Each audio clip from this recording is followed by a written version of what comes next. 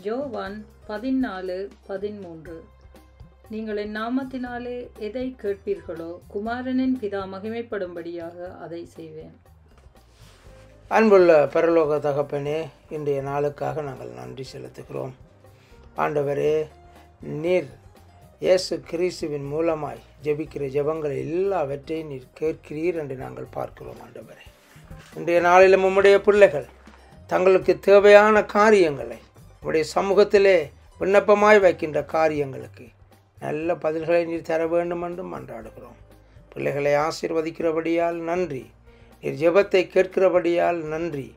உம்முடைய சமூகத்திலே காத்திருக்கிற விண்ணப்பத்தை வைத்து நீண்ட நாட்களாய் காத்திருக்கிற பிள்ளைகளுக்கு சகல தடைகளையும் நீக்கி ஆசீர்வதிக்கிறபடியால் நன்றி.